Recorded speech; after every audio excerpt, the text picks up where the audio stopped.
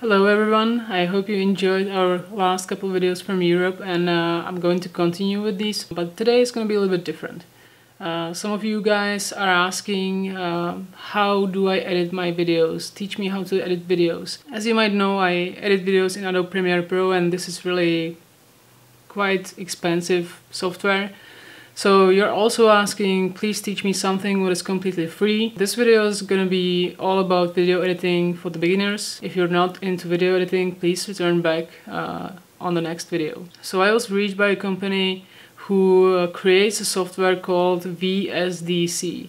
And I actually tested the free version of their software and it turned out pretty good. So I decided to teach you guys uh, how to edit videos uh, in VSDC. First of all, you go to the website videosoftdev.com where you can download free version of this uh, VSDC software.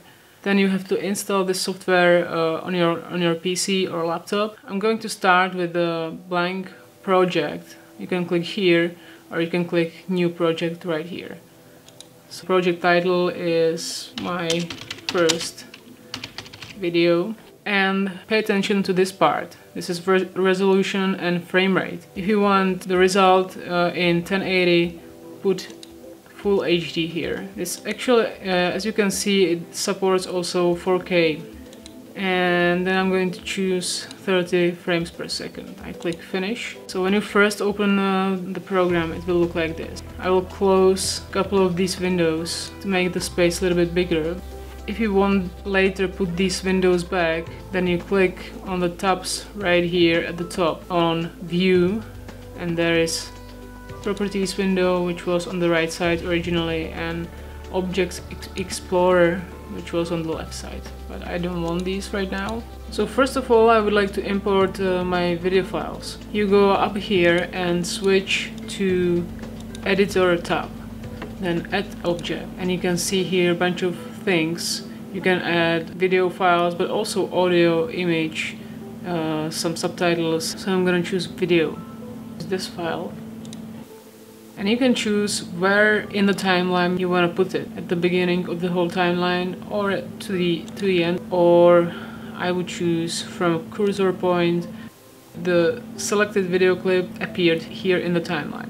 Okay, I usually don't add uh, one clip uh, after another. I just uh, throw everything to the timeline and then I choose directly from the timeline uh, which clips uh, I want to leave and uh, which scenes I, I'm gonna delete. Now let's see how, how to import multiple clips. I'm gonna delete this one, I'm gonna select and press delete. Here's a little shortcut how to import video files a little bit faster. if you click here on uh, add object you have here these little icons and you can see that these same icons are here. So instead of adding object like this I would just go here click on add video and then I'm gonna select all these files hit open and here appears a little bit different dialog. If you decide that you want you want to delete some clips you can uh, you can click on this cross you can also add some transitions uh, in between the clips. I click apply settings and it creates something what they call sprite. Sprite is like all clips put together but we actually want to work uh, with a single video clips so I double click on sprite 1 and drag this a little bit up so I have more space and then I can move in the timeline as you can see it imported all the clips to the timeline and each clip is in a different layer. Also frequently use this uh, zooming in and zooming out on the timeline. If you if you hit minus and plus signs on the keyboard, it uh, it's gonna work as well. Now I am going to choose which video clips will stay, which I'm gonna delete. Always keep your story in mind. This is the main thing, and uh, you should choose always the video clips which fits into your story. So I'm going to go through the clips real quick, dragging this, this uh, cursor. And that's how I choose which clips are going to stay. But if I actually want to see the video clip in uh, normal speed, I must hit preview. Okay, so this is a nice clip, this will stay. For example, I decide that uh, I don't want to use this clip So I'm gonna delete this one. So I click on it, press delete. Then when you delete the clip, it creates a little black space. So you would need to move all other clips a little bit closer like this. You can actually work with the with the single clips really easily. Just you, you can just click on it and, and move it anywhere in the timeline as you wish. And the other thing is that the clips which are at the bottom has higher priority. And you can see that I put this clip over the clip at the bottom. Typically in Adobe Premiere Pro for example you would see this clip which is at the top but in, in this case in VSDC you will see the, the higher priority clip is at the bottom. So now if you want to change the priority and move this clip I just click on the clip, go to edit and move down. It actually moves up, but down is meant probably that uh, you put it under uh, the other clip, under this one, you know. So I have just chosen the, the clips uh, which fits to my story and the next uh, thing I usually do is cutting out the bad parts and uh, leaving the best. Here I have really long video clip and I, I want to use just small part of it, uh, just a few seconds. And I need to select the part which I want to delete. So this way I'm trying to find the position where should be the cut, where my husband start to ski really aggressively. I'm dragging it, dragging, and let's say it's here. So this part, which is right now selected, uh, I want to delete uh, this part out. You, you, need to go to this tab at the at the top, editor, and here you have these scissors. If you click on them, you can see that the part was deleted. I'm gonna show you actually the faster way. Let's do undo. If you press Control and delete it's gonna do the same thing. The next uh, thing you might wanna do is splitting the clips. I'm gonna find the position where I wanna split the clips. I'm going to editor, here is split into parts. So I'm gonna click on that. As you can see the clip was divided into two layers. The next step I like to do is uh, see if there are some nice shots, for example uh, my kid's face expression or some uh, some kind of activity where I want to do slow motion. So here we have my daughter really nicely smiling and I want to do this slow motion. So I click on that clip, then I need to go to view tab here and click on properties window. Here are several different properties of, of this video clip. There is speed, you can see that there is 100%, so I'm gonna try 50 and you can already see that the, the clip is longer and let's see.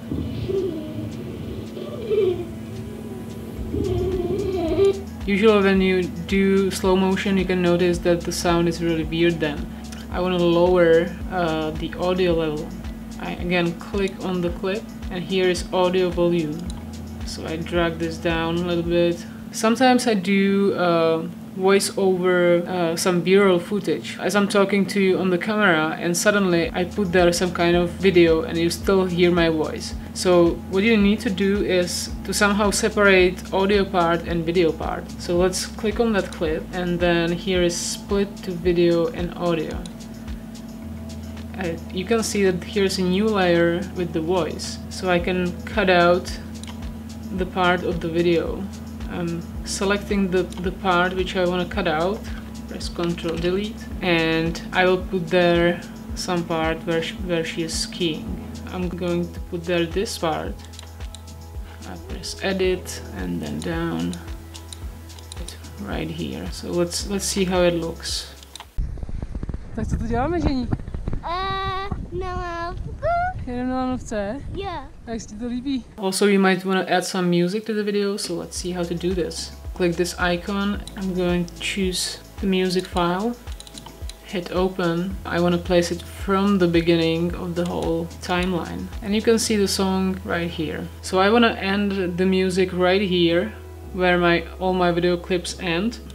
Select the part I want to delete, then press Ctrl delete but what happens here that the song will end up suddenly. Let's check some uh, fade out effect. Right click on the song, audio effects, amplitude, fade out.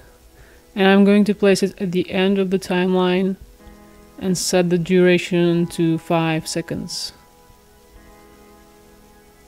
And I click OK. and here it creates a little object and I need to go back to the timeline clicking this sprite and then seeing how it works. But now you're grateful